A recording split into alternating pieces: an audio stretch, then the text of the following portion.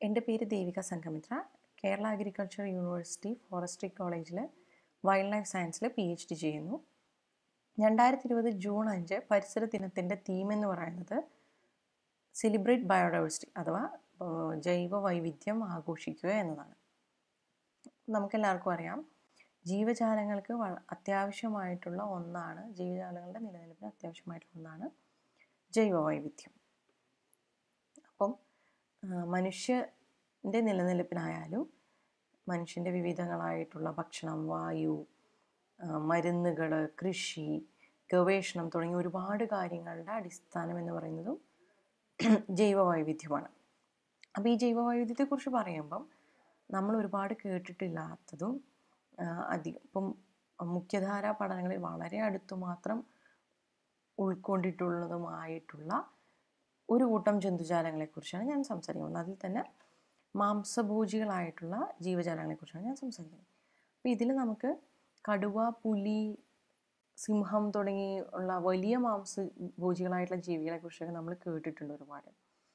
പക്ഷേ ഇതിൽ നിന്ന് വ്യത്യസ്തമായിട്ട് വലിപ്പത്തിൽ ചെറുതും എന്നാൽ വളരെ എന്താ പറയുക രഹസ്യ സ്വഭാവമുള്ളതുമായിട്ടുള്ള മാംസബുക്കുകളായിട്ടുള്ള ചെറു മാംസഭോജികൾ അഥവാ സ്മോൾ കാർണിവോഴ്സ് എന്നതിനെ കുറിച്ചാണ് ഞാനിന്ന് സംസാരിക്കാനായിട്ട് പോകുന്നത്. അപ്പം സ്മോൾ കാർണിവോഴ്സ് അഥവാ ചെറു മാംസഭോജികൾ ഞാനിന്ന് കേരളത്തിൽ ചെറു മാംസഭോജികളെ കുറിച്ചാണ് കൂടുതലായിട്ട് സംസാരിക്കുന്നത്. അപ്പം നമ്മളിതിൽ നോക്കുമ്പം സ്മോ കാർണിവോഴ്സ് എന്ന് പറയുന്നതിന്റെ ടാക്സോണമി നമ്മൾ നോക്കുമ്പം അത് വരുന്നത് കിങ്ഡം ആനിമേലിയയിലാണ് ഫൈലം കോഡേറ്റ ക്ലാസ് സസ്തനികൾ അല്ലെങ്കിൽ മമേലിയ ഓർഡർ മാംസഭോജികൾ അല്ലെങ്കിൽ കാർണിവോറ മാംസഭോജികളായിട്ടുള്ള സസ്തനികൾ ഉൾപ്പെടുന്ന വിഭാഗം അല്ലെങ്കിൽ ഓർഡറാണ് കാർണിവോറ എന്ന് പറയുന്നത്. ഇതിൽ കൂർത്ത പല്ലുകൾ ഇതെന്തിനാണെന്ന് വെച്ചാൽ ഇരകളെ കടിച്ചു കീറി കഴിക്കുന്നതിന് ആവശ്യമായിട്ടുള്ള കൂർത്ത പല്ലുകളുള്ള കർണാസിയൽ ടീത്തുകളുള്ള ജീവികളെയാണ് നമ്മൾ കാർണിവോറ എന്നുള്ള ഓർഡറിൽ ഉൾപ്പെടുത്തിയിട്ടുള്ളത്. അതിൽ സ്മോൾ കാർണിവേഴ്സിനെ കുറിച്ച് സംസാരിക്കുമ്പോൾ അത് എന്താണെന്ന് വെച്ചാൽ സ്മോൾ കാർണിവേഴ്സുകൾ എന്ന് പറഞ്ഞാൽ ചെറു ചെറുമാംസഭോജികൾ എന്ന് പറഞ്ഞാൽ എന്താണെന്ന് വെച്ചാൽ അഞ്ച് കിലോഗ്രാമിൽ താഴെ ശരീരഭാരമുള്ള ഓർഡർ കാർണിവോറയിൽ ഉൾപ്പെടുന്ന ചെറു സസ്തനികളെയാണ് നമ്മൾ സ്മോൾ കാർണിവോഴ്സ് അഥവാ ചെറുമാംസഭോജികൾ എന്ന് വിളിക്കുന്നത്. ഈ ലോകത്താകെയുള്ള ചെറു ചെറുമാംസഭോജികളെ ഒമ്പത് ഫാമിലികളിലായിട്ടാണ് ഡിസ്ട്രിബ്യൂട്ട് ചെയ്തിട്ടുള്ളത്. അത് ഏതൊക്കെയാണെന്ന് വെച്ചാൽ ഐലിയൂറുടെ യൂപ്ലറുടെ ഫെലിഡെ ഹെർപ്പസ്റ്റിഡെ മെഫറ്റിഡെ നന്ദിനിഡെ പ്രിയണോഡോണ്ടിഡെ പ്രൊസിയോണിഡെ ആൻഡ് വിവറിഡെ ഇങ്ങനെ ഒമ്പത് ഫാമിലികളിലായിട്ടാണ് നമ്മുടെ സ്മോൾ കാർണിവോഴ്സിനെ ലോകത്താകമാനം ഡിസ്ട്രിബ്യൂട്ട് ചെയ്തിട്ടുള്ളത്. ഇതിൽ ലോകത്തുള്ള സ്മോൾ കാർണിവോഴ്സിന്റെ കാര്യം എടുക്കുമ്പോൾ നമുക്ക് ലോകത്താകെ അയ്യായിരത്തി നാനൂറ്റി പതിനാറ് സസ്തനികളാണുള്ളത്. അതിൽ ഇരുന്നൂറ്റി എൺപത്തി ഒന്ന് എണ്ണം മാംസഭോജികളും ഈ മാംസഭോജികളിൽ നൂറ്റി തൊണ്ണൂറ്റഞ്ചെണ്ണം എന്ന് പറഞ്ഞാൽ അവയുടെ അറുപത്തൊമ്പത് പോയിന്റ് നാല് ശതമാനം ചെറു മാംസഭോജികളുമാണ്. ഇനി ഇന്ത്യയിലേക്ക് വരികയാണെങ്കിൽ നാനൂറ്റി ഇരുപത്തിനാല് ജാതി സസ്തനികളാണ് നമുക്കുള്ളത്. അതിൽ അമ്പത്തെട്ടെണ്ണം മാംസഭൂജികളും ഈ അമ്പത്തെണ്ണെണ്ണത്തിൽ നാൽപ്പത്തൊന്നെണ്ണം ചെറു മാംസഭൂജികളുമാണ്. കേരളത്തിലെ കേസിൽ നമുക്ക് നൂറ്റി പതിനെട്ട് ഇനം സസ്തനികളാണുള്ളത്. അതിൽ പത്തൊമ്പതെണ്ണം മാംസഭൂജികളാണ്. ഈ പത്തൊമ്പത് മാംസഭൂജികൾ അറുപത്തെട്ട് പോയിന്റ് നാല് ശതമാനം അഥവാ പതിമൂന്ന് എണ്ണം എന്ന് പറയുന്നത് ചെറു മാംസഭൂജികളാണ്. ഈ പട്ടിക കൊടുത്തിട്ടുള്ളതെന്ന് പറഞ്ഞാൽ നമ്മുടെ ലോകത്താകെയുള്ള സ്മോൾ കാർണിവോർ ഫാമിലികളാണ് കൊടുത്തിട്ടുള്ളത്. അതിൽ ചുവന്ന ബോക്സിൽ കൊടുത്തിട്ടുള്ളതുകൾ ഇന്ത്യയിൽ കാണപ്പെടുന്ന ഫാമിലികളാണ് അപ്പോൾ അതിൽ India western Indies Kerala world എന്നതിലുള്ള ഓരോ സ്മോൾ കായോസ് ഫാമിലിയിലെ മെമ്പേഴ്സിന്റെ എണ്ണം കൊടുത്തിട്ടുണ്ട്. അപ്പോൾ നമ്മൾ ഇന്ത്യയിൽ നോക്കുവാണെങ്കിൽ ഐലിയൂരുടെ എന്ന് പറഞ്ഞാൽ റെഡ് പാണ്ടയുടെ ഫാമിലിയാണ് ഫെൽഡ് എന്ന് പറഞ്ഞാൽ പൂച്ചകളുടെ ഫാമിലിയാണ് ഹെർപ്പസ്റ്റിഡെ എന്ന് പറഞ്ഞാൽ കീരികളുടെ ഫാമിലിയാണ് മസ്റ്റർഡേ എന്ന് പറഞ്ഞു കഴിഞ്ഞാൽ നീർനായ മരനായ വീസൽസ് ഒക്കെ വരുന്ന ഫാമിലിയാണ് പ്രിയനോഡോണ്ടിഡേ എന്ന് പറഞ്ഞു കഴിഞ്ഞാൽ ലീൻസാങ്ങുകൾ വരുന്ന ഫാമിലിയാണ് വിവറുടെ എന്ന് പറഞ്ഞാൽ വിരികകൾ വരുന്ന ഫാമിലിയാണ് പിന്നെ നോക്കുമ്പോൾ യൂപ്ലഡ് എന്ന് പറഞ്ഞാൽ ഫോസ് വരുന്ന ഫാമിലി മെഫിഡ് എന്ന് പറഞ്ഞ സ്കങ്കുകൾ ഉള്ള ഫാമിലിയാണ് നന്ദിനിയുടെ എന്ന് പറയുന്നത് ആഴയിലെ ഒരു സ്പീഷീസ് ഉള്ള വേൾഡിൽ അത് ആഫ്രിക്കൻ പാംസിവറ്റ് വരുന്ന ഫാമിലിയാണ് പ്രൊസിയോഡോണ്ടിഡ എന്ന് പറഞ്ഞാൽ ഒലിങ്കോസ് വരുന്ന ഫാമിലിയാണ് ഇനി നമുക്ക് കേരളത്തിലെ ചെറുമാംസഭോജികളുടെ വൈവിധ്യത്തെക്കുറിച്ച് നോക്കാം. നമുക്ക് കേരളത്തിലാകെ നാല് കുടുംബങ്ങളിൽ അല്ലെങ്കിൽ നാല് ഫാമിലികളിലാണ് ഉള്ളത് സ്മോൾ കാണോസ് ഈ ഫാമിലിയാണ് ഫിലിഡെ പൂച്ച ഫാമിലി ഹെർപ്പസ്റ്റിയുടെ കീരികൾ മസ്റ്റലിടെ എന്ന് പറഞ്ഞ നീർനായി മരനായി വിവറിടെ എന്ന് പറഞ്ഞിട്ടുള്ള വെരുകുകൾ അപ്പോൾ ആദ്യം നമുക്ക് പൂച്ചകളുടെ കുടുംബമായിട്ടുള്ള മാർജാര കുടുംബം. അതിനെക്കുറിച്ച് നോക്കാം. അപ്പം ഫാമിലി ഫെലിഡേ ആണ് നമ്മുടെ പൂച്ചകൾ ഇതിൽ ചെറിയ പൂച്ചകൾ ഉൾക്കൊള്ളുന്ന ഉപകുടുംബമാണ് ഫെലിനെ ഈ പൂച്ച അല്ലെങ്കിൽ ഫെലിഡെ ഫാമിലിയുടെ പ്രത്യേകത എന്ന് പറഞ്ഞാൽ അവർക്ക് ഗോളാകൃതിയിലുള്ള തലയും നീളം കുറഞ്ഞ മുഖവുമാണ്. ഇവരുടെ ചെവികൾ വളരെ കൂർത്തതാണ്. കാൽവിരലുകൾ മാത്രം നിലത്തുറപ്പിച്ച് നടക്കുന്നതാണ് അവരുടെ ഒരു ശൈലി. ഇവരുടെ നഖങ്ങൾ എന്ന് പറഞ്ഞു കഴിഞ്ഞാൽ നമ്മൾ കണ്ടിട്ട് പൂച്ചയുടെയൊക്കെ നഖങ്ങൾ ഉള്ളിലേക്ക് വലിക്കാൻ പറ്റുന്നത് അപ്പോൾ ഉൾവലിക്കാവുന്ന റിട്രാക്റ്റബിൾ ക്ലോസ് ഉള്ളതാണ് പൂച്ച ഫാമിലിയുടെ ഏറ്റവും വലിയൊരു പ്രത്യേകതയായിട്ട് നമ്മൾ പറയുന്നത്. ഇതാണ് നമ്മൾ മറ്റു നായ കിരി വെരിഗതിൽ നിന്നൊക്കെ പൂച്ചകളെ വ്യത്യസ്തമാക്കുന്നത്. ഇവയുടെ പിൻകാലുകളിൽ നാല് വിരലുകളാണുള്ളത്. പിന്നെ ഇവരുടെ ഒരു പ്രത്യേകത എന്ന് പറയുന്നത് ഇരയെ ഓടിച്ചിട്ട് പിടിക്കുന്നതിന് പകരം ഇരയെ കാത്തിരുന്ന് ഒളിച്ചിരുന്ന് ചാടി വീണ് പിടിക്കുന്ന ഒരു ശൈലിയാണ് പൂച്ച കുടുംബത്തിലുള്ള എല്ലാ മെമ്പേഴ്സിനുള്ളത് നമുക്ക് കേരളത്തിൽ മൂന്ന് ഇനത്തിലുള്ള പൂച്ചകളാണ് ആകെ കാണപ്പെടുന്നത്. ഇനി നമ്മൾ വെരിഗ് സിവറ്റ് ഫാമിലി നോക്കുമ്പം ഈ ഫാമിലീനെ നമ്മൾ വിവരുടെ എന്നാണ് വിളിക്കുന്നത്. ഇത് കേരളത്തിൽ നമുക്ക് മൂന്നിനം വെരുകുകളുണ്ട്. ഗുദഗ്രന്ഥികൾ അല്ലെങ്കിൽ ഈനൽ സെൻ ഗ്ലാൻസിന്റെ പ്രസൻസ് കൊണ്ടാണ് നമ്മൾ മരപ്പെട്ടികൾ അല്ല വെരുകുകളെ തിരിച്ചറിഞ്ഞത്.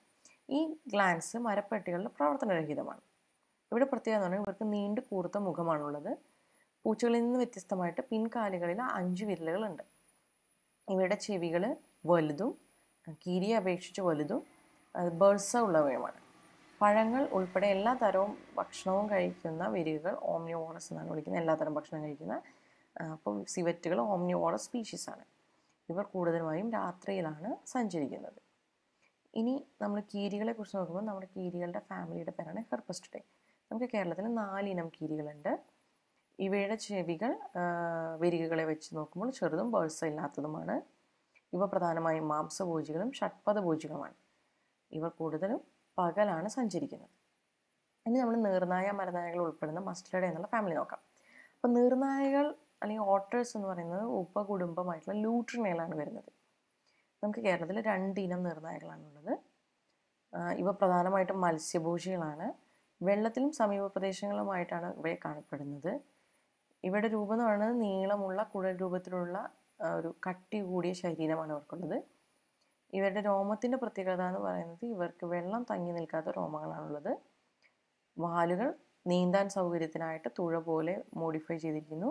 പിന്നെ നീന്താൻ വേണ്ടിയിട്ട് കൈകളുടെയും കാലുകളുടെയും വിരലുകളുടെ ഇടയിൽ പാടകളും വികസിച്ചു വന്നിട്ടുണ്ട്.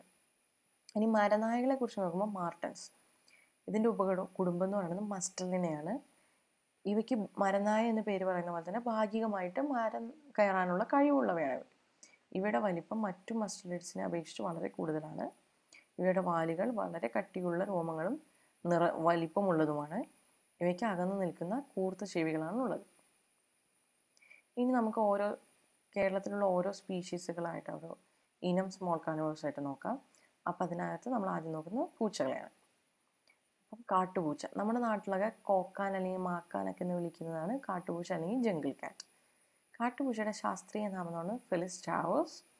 ഇവയുടെ നിറം എന്ന് പറയുന്നത് മഞ്ഞ കലർന്ന തവിട്ടോ ചാരനിളം നിറം കലർന്ന തവിട്ടോ നിറമാണ് ഇവർക്ക് പ്രധാനമായിട്ടുള്ളത്. പക്ഷെ ഇവരുടെ കറുത്ത ചെവി ചുവന്നിട്ട് കറുത്ത രോമക്കൂട്ടങ്ങൾ കാണുന്നതാണ് ഇവരുടെ ചെവിയുടെ ഒരു പ്രത്യേകത. ഇവയ്ക്ക് വളർത്തു പൂച്ചയുടേതിനേക്കാൾ വലിപ്പം കൂടുതൽ ശരീര വലിപ്പം കൂടുതലാണെങ്കിലും വാലുകളുടെ നീളം കുറവാണ്. ഇവിടെ വാലിലും നീണ്ട കൈകാലുകൾ മുൻകാലുകളിലും കറുത്ത രണ്ട് വരകളുണ്ട്. പിന്നെ ഇതിനെ തിരിച്ചറിയാൻ പറ്റുന്ന മറ്റൊരു മാർഗം എന്ന് പറയുന്നത് കണ്ണുകളിൽ നിന്ന് കണ്ണുനീര് പോലെ ഒലിച്ചിറങ്ങുന്ന ഒരു ഇരുണ്ട വരയും നമ്മുടെ കാട്ടുപൂച്ചയ്ക്കുണ്ട്. സാധാരണയായി ഒറ്റയ്ക്ക് കാണപ്പെടുന്ന ഒരു ഇനം പൂച്ചകളാണിവ. ഇവ സാധാരണ ഭക്ഷണം കഴി ഭക്ഷിക്കുന്നത് ചെറിയ സസ്തനികൾ പക്ഷികൾ പിന്നെ ഇവർ തങ്ങളെക്കാൾ വലിപ്പമേറിയ മൃഗങ്ങളെയും വേട്ടയാടി പിടിക്കാറുണ്ട്.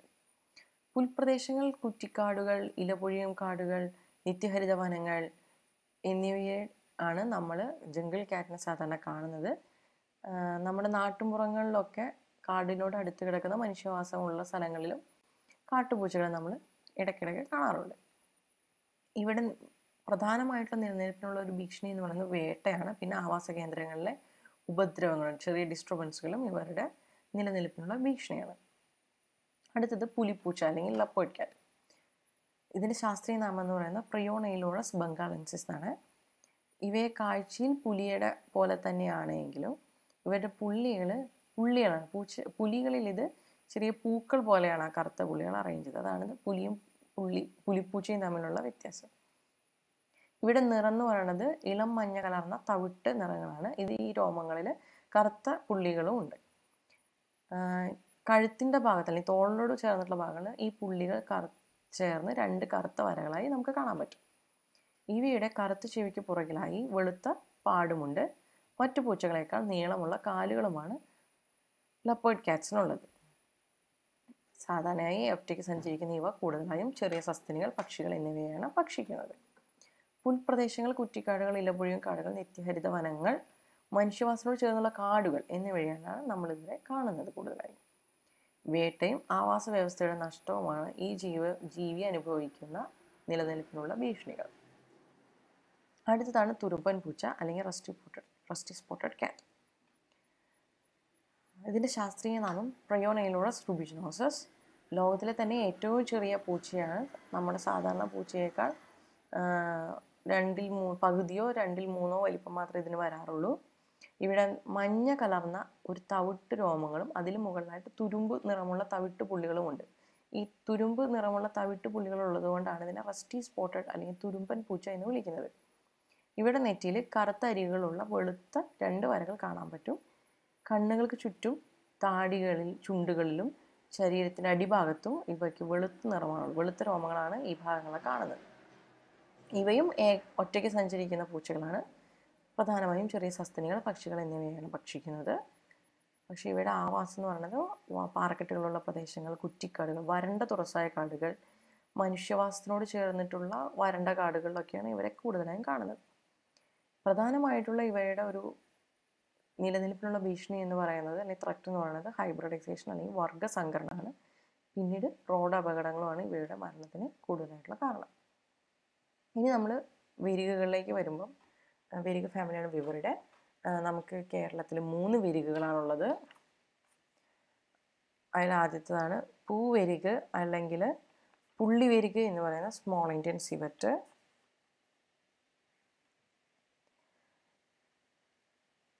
പൂവരിക അല്ലെങ്കിൽ പുള്ളിവരിക അല്ലെങ്കിൽ സ്മോൾ ഇന്ത്യൻ സിവറ്റ് എന്ന് പറയുന്നതിന്റെ ശാസ്ത്രീയ നാമം വിബ്രിക്കുല ഇൻഡിക്ക എന്നുള്ളതാണ് ഇവയുടെ മഞ്ഞ കലർന്ന തവിട്ട് നിറമോ ചാര നിറമോ ഉള്ള ശരീരത്തിൽ ആകെ ഇരുണ്ട പുള്ളികളുണ്ട്. ഈ പുള്ളികൾ മുതുകിലൂടെ വരകൾ പോലെ നമുക്ക് കാണാൻ സാധിക്കും.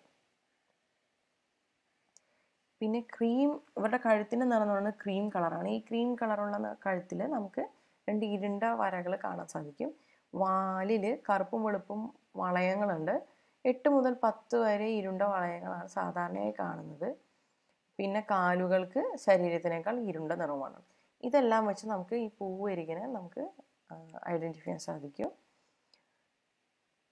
ഏകാന്തമായി കാണപ്പെടുന്ന ഒരു സ്മോൾ കാനോസാണ് സ്മോൾ ഇന്ത്യൻ വെറ്റ പ്രധാനമായും ചെറിയ സസ്തനികൾ പക്ഷികൾ ഷഡ്പഥങ്ങൾ എന്നിവയാണ് ഭക്ഷിക്കുന്നത്. എല്ലാതരം ആവാസ വ്യവസ്ഥയിലും ഇന്ത്യയിൽ കാണപ്പെടുന്ന ഒരു ചെറുമാംസഭോജിയാണ് ഇന്ത്യൻ സിവറ്റ് ആവാസ വ്യവസ്ഥയുടെ നഷ്ടപ്പെടൽ വിൽപ്പനകൾ റോഡ് അപകടങ്ങൾ എന്നിവയാണ് പ്രധാനമായിട്ടുള്ള നിലനിൽപ്പിനുള്ള ഭീഷണികൾ. അടുത്തതായി മരപ്പട്ടി അല്ലെങ്കിൽ നമ്മുടെ കോമൺ പാം സിവറ്റ് നമ്മുടെ നാടുകളിലൊക്കെ നമുക്ക് കണ്ട് നന്നായി അറിയാവുന്ന ഒരു സ്പീഷീസ് ആയിരിക്കണം മരപ്പട്ടി. മരപ്പട്ടി പിന്നെ അതുപോലെ തന്നെ ഇതിന് ഈ പനകളിലൊക്കെ കയറി കള്ള് കട്ട് കുടിക്കുന്നത് കൊണ്ട് ഇതിനെ കള്ളുണ്ണി അല്ലെങ്കിൽ കള്ളുണ്ണി മെരു എന്നൊരു പേരും കൂടെ ഉണ്ട്. അതിന് നമ്മൾ ഇംഗ്ലീഷിൽ ടോഡിക്കാറ്റ് എന്ന് വിളിക്കും. അപ്പോൾ ഇവിടെ ശാസ്ത്രീയ നാമം എന്ന് പറയുന്നത് പാരഡോക്സറസ് ഹെർമഫ്രൊഡൈറ്റസ് എന്നാണ്. ഇളം മഞ്ഞ മുതൽ തവിട്ട് കലർന്ന കറുപ്പോ കടുത്ത കറുപ്പോ നിറമാണ് ഇവയ്ക്ക് സാധാരണയായിട്ടുള്ളത്. പക്ഷെ നമ്മൾ കൂടുതൽ ശ്രദ്ധിച്ചു നോക്കിക്കഴിഞ്ഞാൽ ഇതൊരു എന്താ പറയുക ഒരുപോലെ എല്ലാ കളർ പോയിട്ടുള്ളത്. മുതുകിലിന് മൂന്ന് വരകൾ ഇരുണ്ട മൂന്ന് വരകൾ ഉള്ളതായിട്ട് നമുക്ക് ശ്രദ്ധിച്ച് നോക്കിയാൽ കാണാൻ പറ്റും. ഇവയ്ക്ക് ഇരുണ്ട മുഖവും ഇരുണ്ട് കൂർത്ത മുഖമാണുള്ളത്. കണ്ണിന് താഴെയും ചെവിക്കടുത്തും നെറ്റിലുമായി വെളുത്തതോ ഇളനിറമോ ഉള്ളതോ ആയിട്ടുള്ള പാടുകളും നമ്മുടെ കോമൺ പംസുവറ്റിലുണ്ട് ഒറ്റയ്ക്കാണ് കാണപ്പെടുന്നെങ്കിലും വീടുകളിലൊക്കെ തട്ടുംപുറത്തൊക്കെ ഇത് അമ്മയും ഒന്ന് രണ്ട് കുട്ടികളൊക്കെ ആയിട്ട് നമ്മൾ പലപ്പോഴും കാണാറുണ്ട്. മുഖ്യമായും പഴങ്ങളും കൂടാതെ ചെറിയ സസ്തനികൾ പക്ഷികൾ ഷഡ്പദങ്ങൾ എന്നിവയാണ് കഴിക്കുന്നത്. പക്ഷേ പ്രധാനമായിട്ടും കഴിക്കുന്നത് പഴങ്ങൾ തന്നെയാണ്. ഇന്ത്യയിൽ മരുഭൂമിയിലും ഉയർന്ന ഹിമാലയ പർവതങ്ങളിലും ഒഴികെ എല്ലാത്തരം ആവാസ വ്യവസ്ഥയിലും കോമൺ പാംസോയിഡിനെ കാണാൻ സാധിക്കും നമുക്ക്. പ്രത്യേകിച്ച് നാട്ടിൻപുറങ്ങളിൽ നമ്മൾ സർവസാധാരണമായി കാണുന്ന വിരികാണ് മരപ്പെട്ടി അല്ലെങ്കിൽ കോമൺ പാംസോയിഡ് ഇതിന്റെ പ്രധാനമായിട്ടുള്ള നിലനിൽപ്പിനുള്ള ഭീഷണികൾ എന്ന് പറയുന്നത് വേട്ടയും ആവാസ വ്യവസ്ഥയുടെ നഷ്ടപ്പെടലുമാണ്. അടുത്ത വരികയാണ് തവിടൻ വരിക അല്ലെങ്കിൽ ബ്രൗൺ പാംസ്വേഡ് ഇതിന്റെ ശാസ്ത്രീയ നാമം പാരഡോക്സറസ് ഹെർമാഫ്രോഡൈറ്റസ് എന്നാണ്. ഇതിന് ശരീരത്തിലോ മുഖത്തോ വേറെ അടയാളങ്ങളൊന്നുമില്ല. കാഴ്ചയിൽ മരപ്പെട്ടിയെ പോലെ തന്നെ ആണെങ്കിലും മരപ്പെട്ടിയേക്കാൾ കൂടുതൽ തവിട്ട് നിറവും കുറച്ചുകൂടി ഉരുണ്ട ഒരു പ്രകൃതവുമാണ് ബ്രൗൺ പാംസ്വേഡിനുള്ളത് തലയും കാലുകളും കൂടുതൽ ഇരുണ്ടതും തോൾ ഇളം തവിട്ട് നിറവും വശങ്ങൾ ചാര നിറവുമാണ് ഈ സ്പീഷീസിനുള്ളത്. ഇതിന്റെ തവിടൻ വെരികിന്റെ വാലിന് താരതമ്യേന നീളം വളരെ കൂടുതലുമാണ്. ഇവയും ഒറ്റയ്ക്ക് സഞ്ചരിക്കുന്ന മോൾ കാർണിവോറാണ് പ്രധാനമായും പഴങ്ങളാണ് ഭക്ഷിക്കുന്നത്. നിത്യഹരിത വനങ്ങളും അവയോട് ചേർന്ന് കാണപ്പെടുന്ന കാപ്പിത്തോട്ടങ്ങളിലുമാണ് ഏറ്റവും കൂടുതലായി കാണപ്പെടുന്നത്. ആവാസ വ്യവസ്ഥയുടെ നഷ്ടമാണ് ഇതിന്റെ നിലനിൽക്കുന്ന ഏറ്റവും വലിയ ഭീഷണി. ഇനി നമ്മൾ കീരികളെക്കുറിച്ച് നോക്കുമ്പോൾ കേരളത്തിൽ നമുക്ക് ആകെ നാല് ഇനം കീരികളുണ്ട്. അതിൽ ആദ്യത്തേതാണ് നാടൻ കീരി. നമ്മൾ എല്ലാ നാട്ടുമ്പുറങ്ങളിലൊക്കെ പോയിട്ടുണ്ടെങ്കിൽ നമ്മൾ എപ്പോഴും കാണാൻ പറ്റുന്ന ഒന്നാണ് നാടൻ കീരി അല്ലെങ്കിൽ ഗ്രേ മങ്കൂസ് ഇന്ത്യയിൽ ഏറ്റവും സാധാരണമായി കാണപ്പെടുന്ന കീരി വർഗമാണ് ഗ്രേ മങ്കൂസ് ഇതിന്റെ ശാസ്ത്രീയ നാമം ഹെർപ്പസ്റ്റസ് എഡ്വേർഡ്സി. നരച്ചതും പരുക്കനായ മഞ്ഞ നിറം കലർന്ന ചാരരോമങ്ങളുമാണ് ഇതിനുള്ളത് ഈ രോമങ്ങളിൽ ഇരുണ്ടതും തെളിഞ്ഞതുമായിട്ടുള്ള വരകൾ നമുക്ക് കാണാൻ സാധിക്കും. കാലുകൾക്ക് ശരീരത്തിനേക്കാൾ ഇരുണ്ട നിറമാണുള്ളത്. വാലുകൾക്ക് ശരീരത്തിന്റെ അത്ര തന്നെ നീളവുമുണ്ട്. ഒറ്റയ്ക്കാണെങ്കിലും ഇതിനെ നമ്മൾ സാധാരണ കാണുന്ന ഒറ്റയ്ക്കായിട്ടോ ഇണകളായിട്ടോ അമ്മ കീരികൾ കുഞ്ഞുങ്ങളോടൊപ്പമോ നമുക്ക് ഇങ്ങനെ കാണാൻ സാധിക്കും. ചെറിയ സസ്തനികൾ പക്ഷികൾ ഉരകങ്ങൾ എന്നിവയാണ് പ്രധാന ഭക്ഷണം. കീരികൾ പാമ്പിനെ പിടിക്കും എന്ന് പറയുന്നത് നമ്മൾ സാധാരണ ഈ പാ കീരി പാമ്പിനെ പിടിക്കുന്നത് നമ്മൾ കാണാറുണ്ട്.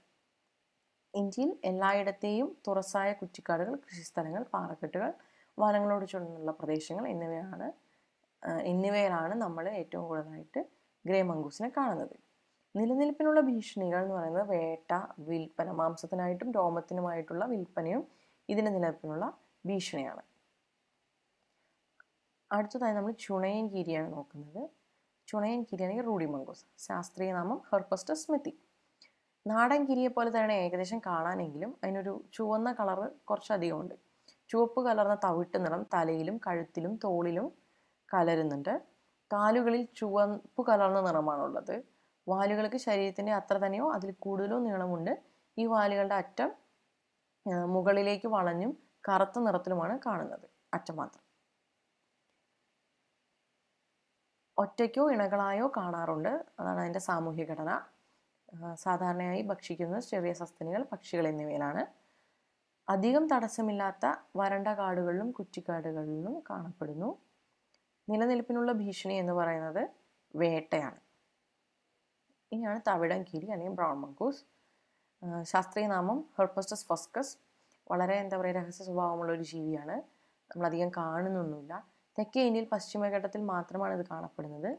നാടൻ കീരിയുടേതിനേക്കാൾ കട്ടി കുറഞ്ഞ മഞ്ഞ കലർന്ന തവിട്ട് നിറത്തിലുള്ള പൊട്ടുകളുള്ള കടും തവിട്ട് നിറമാണ് ബ്രൗൺ മങ്കൂസിനുള്ളത് കാലുകൾ ശരീരത്തിനേക്കാൾ ഇരുണ്ടതും പിൻവാലിന് പാദങ്ങൾ രോമാവൃതവുമാണ്. വാലുകൾക്ക് ശരീരത്തിന്റെ മൂന്നിൽ രണ്ട് നീളമെങ്കിലും ഉണ്ടാകും. വാലിന്റെ അറ്റം കൂർത്തതും ക്രമമായി ചുരുങ്ങി ഒരു ത്രികോണ ആകൃതിയും ഉള്ളതാണ്. ഇത് വെച്ചിട്ട് നമുക്ക് ഈ ബ്രൗൺ മങ്കൂസിനെ പെട്ടെന്ന് തിരിച്ചറിയാൻ പറ്റും. ഇതിന്റെ വാൽ വളരെ ഇങ്ങനെ കൂർത്തിട്ട് ഒരു ത്രികോണം പോലെ ഇരിക്കുന്നതുകൊണ്ട് നമുക്ക് ഇതിനെ പെട്ടെന്ന് തിരിച്ചറിയാൻ വേണ്ടി സാധിക്കും. കൂടുതലും ഏകാന്തമായി നടക്കുന്ന ജീവികളാണ് ചെറിയ സസ്തനികൾ പക്ഷികൾ എന്നിവയാണ് ഭക്ഷണം കഴിക്കുന്നത്. നിത്യഹരിത വനങ്ങളിലാണ് കാണപ്പെടുന്നത്. നിലനിൽപ്പിനുള്ള ഭീഷണി എന്ന് പറയുന്നത് ആവാസ വ്യവസ്ഥയുടെ നഷ്ടപ്പെടലും ഡിസ്റ്റർബൻസുകളുമാണ് അടുത്ത കീഴാണ് നമ്മൾ ചിങ്കീരി എന്ന് വിളിക്കുന്ന സ്ട്രൈപ്പ് നെക്കൽ മങ്കൂസ് ശാസ്ത്രീയ നാമം ഹോർപ്പസ്റ്റസ് വിറ്റിക്കോളിസ് ഇന്ത്യയിൽ പശ്ചിമഘട്ടത്തിൽ മാത്രമാണ് കാണപ്പെടുന്നത്. ഏഷ്യയിലെ തന്നെ ഏറ്റവും വലിയ കീരിയാണ് സ്ട്രൈപ്പ് നെക്കൽ മങ്കൂസ് ചുവപ്പ് കലർന്ന തവിട്ട് മുതൽ മഞ്ഞ കലർന്ന ചാരമോ റൂഫസോ ആണ് ഇതിന്റെ ശരീരത്തിന്റെ നിറം. ഇതിനെ പെട്ടെന്ന് ഐഡന്റിഫൈ ചെയ്യാൻ പറ്റുന്ന രീതിയിൽ ചെവി മുതൽ തോൾ വരെ വെള്ള അരികുള്ള ഒരു കറുത്ത വരകളാണ്. അതുകൊണ്ട് ഈ സ്പീഷീസ് നമുക്ക് വളരെ പെട്ടെന്ന് ഐഡന്റിഫൈ ചെയ്യാൻ പറ്റും. ചെവി മുതൽ തോൾ വരെ നീണ്ട കഴുത്തിന്റെ സൈഡിൽ കൂടെ രണ്ട് വരയുണ്ട്. ഒരു സൈഡിൽ ഒരു വരയുണ്ട്. കാലുകളിൽ ചുവപ്പ് കലർന്ന നിറമാണ്. വാലുകളുടെ അറ്റം കറുപ്പുമാണ്. ഒറ്റയ്ക്കും ഇണകളമായും കാണാറുണ്ട്. ചെറിയ ജീവികളായ ഞണ്ടുകൾ മുതൽ വലിപ്പമുള്ള കൂരമാന വരെ ഇവ ഭക്ഷണമാക്കുന്നുണ്ട്. പശ്ചിമഘട്ടത്തിലെ ഈർപ്പമുള്ള കാടുകളിലും ചതുപ്പ് പ്രദേശങ്ങളിലുമാണ് ഇവയെ കൂടുതലായി കാണുന്നത്. അതുകൊണ്ടായിരിക്കാം ഇവർ ഞണ്ടുകളെ കൂടുതലായി കഴിക്കുന്നുണ്ട്. നിലനിൽപ്പിനുള്ള ഭീഷണി എന്ന് പറയുന്നത് വേട്ട മാംസത്തിനും രോമത്തിനുമായിട്ടുള്ള വേട്ടയാണ് നിലനിൽപ്പിനുള്ള ഭീഷണിയായി പറയുന്നത് പ്രധാനമായും. ഇനി നമ്മൾ നീർനായകളിലേക്ക് വരികയാണെങ്കിൽ നമുക്ക് കേരളത്തിൽ രണ്ടിനം നീർനായകളാണുള്ളത്. ഒന്ന് സ്മൂത്ത് കോട്ട് ഡോട്ടറും ഒന്ന് ഏഷ്യൻ സ്മോൾ ക്ലൗഡ് ഡോട്ടറും അപ്പോൾ അതിൽ ആദ്യത്തേത് നീർനായ അല്ലെങ്കിൽ സ്മൂത്ത് കോട്ട് ഡോട്ടർ നമ്മൾ സാധാരണയായി കാണുന്ന പാടങ്ങളിലും പുഴകളിലും ഒക്കെ കാണപ്പെടുന്ന നീർനായയാണ് സ്മൂത്ത് കോട്ടർ വാട്ടർ അതിന്റെ സയന്റിഫിക് നെയിം ലൂട്രിഗിൻ പെർസ്പിസിലൈറ്റ് ഇതിന്റെ നിറം തവിട്ട് അല്ലെങ്കിൽ ചോക്ലേറ്റ് ബ്രൗൺ ആണ് ഇതിന്റെ കളറ് കാൽപാദങ്ങൾ ഇരുണ്ട തവിട്ട് നിറമാണ്. ഇവയെ മറ്റൊരു നിർണായകമായിട്ടുള്ള യൂറേഷ്യൻ ഓട്ടറിൽ നിന്ന് വ്യത്യസ്തമാക്കുന്നത് ഇതിന്റെ വി ആകൃതിയിലുള്ള നാസാരന്ധ്രങ്ങളും നാസാരന്ധ്രങ്ങളാണ് ഇവയ്ക്ക് നീന്തുന്നതിന് സഹായിക്കുന്നതായ പരന്ന വാലറ്റങ്ങളുണ്ട്. വിരലുകൾക്കിടയിൽ നീന്തുന്നതിനായി നന്നായി വികാസമുള്ള പാടകളുമുണ്ട്. അഞ്ച് മുതൽ പതിനൊന്ന് എണ്ണം വരെയുള്ള കൂട്ടങ്ങളായും ഇണകളായും നമുക്ക് ഇവയെ സാധാരണയായി പാടങ്ങളിലും ഡാമുകളിലും പുഴകളിലുമൊക്കെ കാണാൻ പറ്റും. പ്രധാനമായും മത്സ്യമാണ് ഭക്ഷണം. ഇവയുടെ ആവാസം എന്ന് പറഞ്ഞാൽ വിശാലമായ ജലപ്പരപ്പുകൾ പാടങ്ങൾ ഡാമുകൾ എന്നിവയാണ്. ഇന്ത്യയിൽ വളരെ ഉയരം കൂടിയ പർവതങ്ങളും വടക്കു പടിഞ്ഞാറൻ വരണ്ട പ്രദേശങ്ങളും ഒഴികെ ഇന്ത്യയിൽ എല്ലായിടത്തും നമ്മളിതിനെ കാണാറുണ്ട്. ആവാസ വ്യവസ്ഥ നഷ്ടം തൊലിക്കായുള്ള വേട്ട എന്നിവയാണ് പ്രധാന നിലനിൽപ്പിനുള്ള ഭീഷണികൾ. ഇനി മലനീർന്ന ഏഷ്യൻ സ്മോൾ ക്ലൗഡ് വാട്ടർ ഇത് വളരെ രഹസ്യ സ്വഭാവമുള്ള വളരെ കുറച്ച് മാത്രം കാണപ്പെടുന്ന ഒരു ജീവിയാണ്. ശാസ്ത്രീയ നാമം അയോണിക് സിനേറിയസ് ഇത് ഏറ്റവും ചെറിയ നീർനായയാണ് ലോകത്തിലെ തന്നെ ഏറ്റവും ചെറിയ നീർനായയാണ് അയോണിക്സ് സിനോറിയസ് അഥവാ മലനായ മലനീർനായ ഇവയുടെ ശരീരം നനഞ്ഞിരിക്കുമ്പോൾ പരസ്പരം ഒട്ടിപ്പിടിക്കുന്ന മാർദ്ദവമില്ലാത്ത ഇരുണ്ട് തവിട്ട് രോമങ്ങൾ നിറഞ്ഞതാണ്. ശരീരത്തിന്റെ ഇട അടിവശം ഇളം തവിട്ട് മുതൽ ഇളം മഞ്ഞ വരെയാണ് നിറമുള്ളത്. ചുണ്ടിന്റെ വശങ്ങളും താടിയും തൊണ്ടയുടെ ഭാഗവും മിക്കവാറും വെളുപ്പ് നിറമാണുള്ളത്. ട്രപ്പിസോയിഡ് ആകൃതിയിലുള്ള നാസാരന്ധ്രങ്ങളാണ് ഇവയുടെ പ്രത്യേകത. ചേർന്നിരിക്കുന്ന വിരലുകൾക്കിടയിൽ ഉള്ള പാട പൂർണമല്ല. ഇവ കൂടുതലായിട്ടും രണ്ട് മുതൽ നാലെണ്ണം വരെയുള്ള കൂട്ടങ്ങളായിട്ടാണ് കാണുന്നത്. ഞണ്ടുകളാണ് ഇവരുടെ പ്രധാന ഭക്ഷണം. ഇവർ മറ്റു നീർനായകളിൽ നിന്ന് വ്യത്യസ്തമായി കൈകൊണ്ടാണ് ഇരകളെ പിടിച്ച് ഭക്ഷിക്കുന്നത്. മറ്റു നീർനായകളൊക്കെ നേരിട്ട് വായ കൊണ്ട് പിടിച്ചാണ് ഭക്ഷണം കഴിക്കുന്നത്. ആവാസം എന്ന് പറയുന്നത് ഉയർന്ന പ്രദേശങ്ങളിലെ പുഴകളും അരുവികളുമാണ്. നിലനിൽപ്പിനുള്ള ഭീഷണി എന്നത് ആവാസ വ്യവസ്ഥയുടെ നഷ്ടം തൊലിക്കായിട്ടുള്ള വേട്ട. അടുത്തായി മരനായകൾ. കേരളത്തിലെ ഒരു മരനായാണുള്ളത് നീലഗിരി മാർട്ടൺ അല്ലെങ്കിൽ നീലഗിരി മരനായ. ശാസ്ത്രീയ നാമം മാർട്ടസ് ക്വാക്കിൻസി ഇന്ത്യയിലെ ഏറ്റവും വലിപ്പമുള്ളതും ഏറ്റവും അപൂർവമായി കാണപ്പെടുന്നതുമായിട്ടുള്ള മരനായയാണ് നീലഗിരി മാർട്ടൻ തവിട്ട് മുതൽ കറുപ്പ് നിറമുള്ള ശരീരവും ഇളം മഞ്ഞ മുതൽ മഞ്ഞ കലർന്ന ഓറഞ്ച് നിറമുള്ള കഴുത്തും പരന്ന തലോട്ടിയുമാണ് ഇവയുടെ പ്രത്യേകത.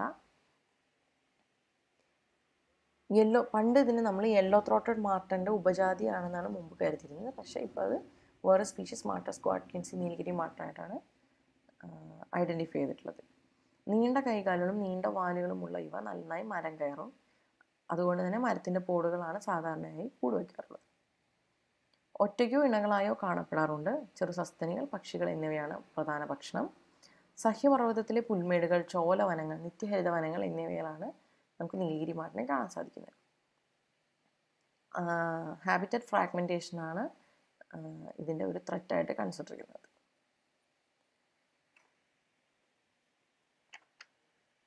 ഇനി നമുക്ക് എന്തുകൊണ്ടാണ് ചെറു മാംസഭോജികൾ ആവാസ വ്യവസ്ഥയിൽ പ്രാധാന്യം അർഹിക്കുന്നത് എന്ന് നോക്കാം.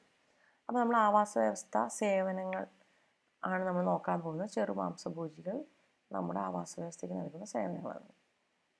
അതിലൊന്ന് എന്ന് പറയുന്ന പോലെ തന്നെ എല്ലാ ജന്തുജാലങ്ങളെയും പോലെ ഇവയും ഭക്ഷ്യശൃംഖലയുടെ ഭാഗമാണ്. അതുകൊണ്ട് ഇവയുടെ എക്സിസ്റ്റൻസ് വളരെയധികം ഇമ്പോർട്ടന്റ് ആയിട്ടുള്ള ഒന്നാണ്. മറ്റൊന്നെന്ന് പറയുന്നത് ഇവ ഇവയിൽ ചിലത് പഴങ്ങൾ ഭക്ഷിക്കുന്നത് കൊണ്ട് മരങ്ങളുടെ വിത്ത് വിതരണത്തിൽ അതി വളരെയധികം സഹായിക്കുന്നു. ഇതിന് ഉദാഹരണമാണ് വേരുകുകൾ. ഇവ പൂക്കളിലെ പരാഗണത്തിനും സഹായിക്കുന്നുണ്ട്. പിന്നെ ഇവയുടെ വലിപ്പം വളരെ ചെറുതായതുകൊണ്ട് വലിയ മറ്റു മാംസഭോജികളുടെ ഇരകളായി ഇവ നിലനിൽക്കുന്നു. കൂടാതെ കൃഷിയിടങ്ങളിലെ കീടങ്ങൾ എലികൾ എന്നിവയെ നിയന്ത്രിക്കുന്നതിനും ഇത് വളരെയധികം സഹായിക്കുന്നുണ്ട്. ഇനി നമ്മൾ സ്മോൾ കാർണിവേഴ്സിൽ നിലനിൽപ്പിനുള്ള ഭീഷണി അല്ലെങ്കിൽ ത്രെറ്റ്സ് നോക്കുകയാണെങ്കിൽ ഇവിടെ ഏറ്റവും കൂടുതൽ മാംസത്തിനായി വേട്ടയാടപ്പെടുന്നുണ്ട്. പിന്നെ ആവാസ വ്യവസ്ഥയുടെ നഷ്ടവും നശീകരണവും എല്ലാം ഇതിന്റെ നിലനിൽപ്പിന് ഭീഷണിയാണ്. നിയമപരമല്ലാത്ത വിൽപ്പന. ഇത് നമ്മുടെ സ്മോൾ കാർണിവേഴ്സ് നേരിടുന്ന ഒരു വെല്ലുവിളിയാണ്. കാരണം എന്ന് വെച്ചാൽ നമ്മുടെ കീരികൾ നോക്കുകയാണെങ്കിൽ കീരികൾ അതിന്റെ രോമം എടുത്ത് പെയിന്റിങ് ബ്രഷുകൾ ഉണ്ടാക്കാൻ വേണ്ടി ഒരുപാട് ഹണ്ട് ചെയ്യുന്നുണ്ട്.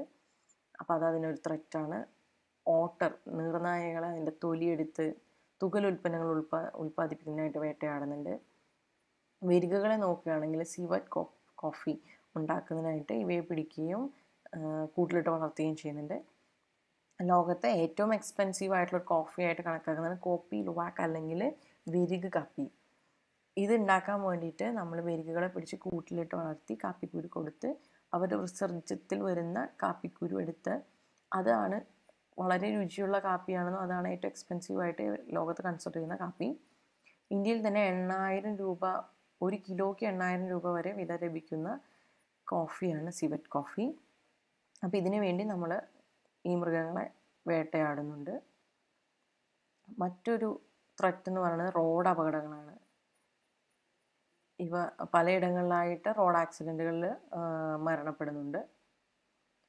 പിന്നെ ഉപദ്രവകാരികളായി കണക്കാക്കി നാട്ടിലേക്ക് വരുന്ന ഇത്തരം സ്മോൾ കാർണിവേഴ്സിനെ നമ്മൾ കൊല്ലുന്നത്. വർഗസംകരണം വളർത്തുമൃഗങ്ങളാൽ വേട്ടയാടപ്പെടുന്നത് അസുഖങ്ങൾ എന്നിവയെല്ലാം ചെറു മാംസഭോജികളുടെ നിലനിൽപ്പിനുള്ള ഭീഷണികളാണ്. ഇവയുടെ സംരക്ഷണം നമ്മൾ നോക്കുകയാണെങ്കിൽ ചെറു മാംസഭോജികളെ പ്രധാനമായും എക്സിറ്റു കൺസർവേഷൻ വഴിയും ഇൻസിറ്റു കൺസർവേഷൻ വഴിയും സംരക്ഷിക്കുന്നുണ്ട്. എക്സിറ്റു കൺസർവേഷൻ എന്ന് പറഞ്ഞാൽ ജീവികളെ അവയുടെ പ്രകൃത്യ ഉള്ള ആവാസ വ്യവസ്ഥയ്ക്ക് പുറമെ ഒരിടത്ത് സംരക്ഷിക്കുന്നതിനാണ് നമ്മൾ എക്സിറ്റു കൺസർവേഷൻ എന്ന് പറയുന്നത്. ഇതിൽ വരുന്നതാണ് captive breeding programme programme using wild caught re introduction എന്ന് പറഞ്ഞാൽ മറ്റൊരിടത്ത് നിന്ന് വിളിച്ച് ഒരു സ്ഥലത്ത് നമ്മൾ പുതുതായി റീ ഇൻട്രൊഡ്യൂസ് ചെയ്യുന്നത്. സുവോളജിക്കൽ പാർക്കുകൾ ഇതെല്ലാം എക്സിറ്റു കൺസർവേഷൻ ഉദാഹരണങ്ങളാണ്. ഇനി ഇൻസിറ്റു കൺസർവേഷൻ എന്ന് പറഞ്ഞു കഴിഞ്ഞാൽ ജീവജാലങ്ങളെ അവയുടെ പ്രകൃത്യ ഉള്ള ആവാസ വ്യവസ്ഥയ്ക്കുള്ളിൽ തന്നെ സംരക്ഷിക്കുന്നതിനെയാണ് ഇൻസിറ്റു കൺസർവേഷൻ എന്ന് പറയുന്നത്. ഇതിനായിട്ടാണ് നമ്മൾ വന്യജീവി സങ്കേതങ്ങളും നാഷണൽ പാർക്കുകളും മറ്റും നിർമ്മിക്കുന്നത്. ഈ ഇൻസ്റ്റിറ്റ്യൂട്ട് കൺസർവേഷന് സഹായിക്കുന്ന ഇൻസ്റ്റിറ്റ്യൂഷനുകളാണ് international union for conservation of nature I U C N I U C N specialist group world wide fund for nature convention on international trade in endanger species of wild fauna and flora trade record analysis of flora and fauna in commerce ഇന്ത്യയിലെ wild life protection act nineteen seventy two. നമ്മൾ നോക്കുമ്പം I U C N red list അനുസരിച്ച് നമ്മുടെ ചെറു മാംസഭോജികളിൽ ഇരുപത്തിമൂന്ന് ശതമാനവും വരുന്നത് വംശനാശ ഭീഷണി നിലനിൽക്കുന്ന കാറ്റഗറിയിലാണ്. അതുപോലെ തന്നെ ഇപ്പോൾ നമ്മൾ സംസാ പറഞ്ഞ പതിമൂന്ന് small കാർണിവേഴ്സും Indian wild life protection act nineteen seventy ടുവിന്റെ കീഴിൽ ഷെഡ്യൂളുകളിൽ വരുന്നതാണ്.